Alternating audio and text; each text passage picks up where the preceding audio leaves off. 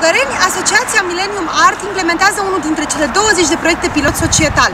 Este vorba de proiectul Grundvig, uh, Traditional Lifestyle as a Model for Sustainable Development. Deși asociația este din Giurgiu, a ales această locație pentru a realiza un workshop de cusături, țesături tradiționale. De ce? Pentru că asociația încearcă prin acest proiect să identifice acele elemente de tradiție, de cutumă folosite de bunicii noștri pe care le putem transpune în ziua de astăzi pentru a proteja resursele naturale, precum apa sau energia, dar și pentru a contribui la o societate mai echitabilă și mai inclusivă. Eu? Da. O să răspund așa pentru că așa. O să punem aici trei uh, Stil de viață tradițional, un model uh, pentru dezvoltarea durabilă. Uh, își propune să aducă în actualitate stilul de viață tradițional, să aducă în atenția tinerei generații modul în care locuitorii din mediul rural își gestionează resursele de hrană, apă, energie, să stabilească un uh, dialog între generații, un dialog intercultural, de asemenea și între partenerii implicați în proiect. Imagine trebuie să lăsăm, să zicem, doi.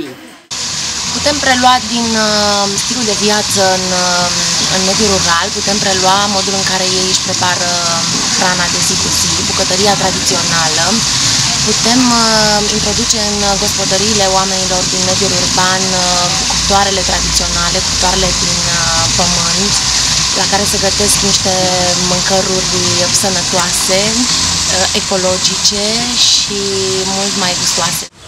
În Viorica Inetu, sunt profesoară și m-am ocupat de tradiții populare ca specialist salariat în cadrul școlii de artă a județului Giurgiu.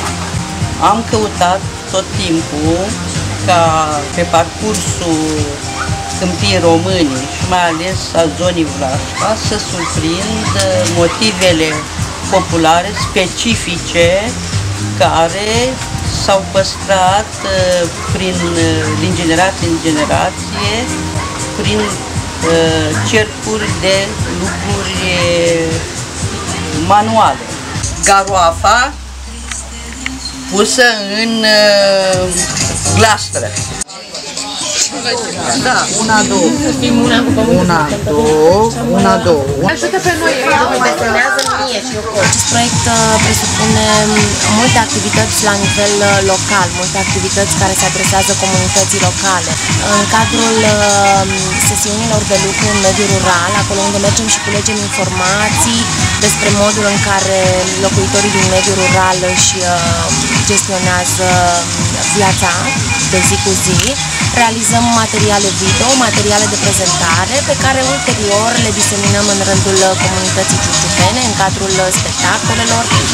Organizăm ateliere de cusături tradiționale din zona Flașca, încercăm să promovăm uh, cusăturile tradiționale și modul în care le-am uh, putea adapta vieții noastre de zi cu zi și le-am putea integra în uh, obiectele pe care le folosim, eu știu, să împrumutăm semne cusute tradiționale în articole vestimentare. Toți elevii mei care au, au absolvit cursul meu, fiecare și-a făcut o asemenea sacoșă.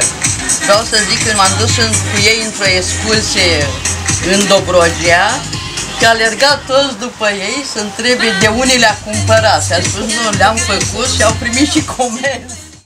În acest proiect am încercat să diminuăm impactul Uh, datorat sau cauzat de, de transport.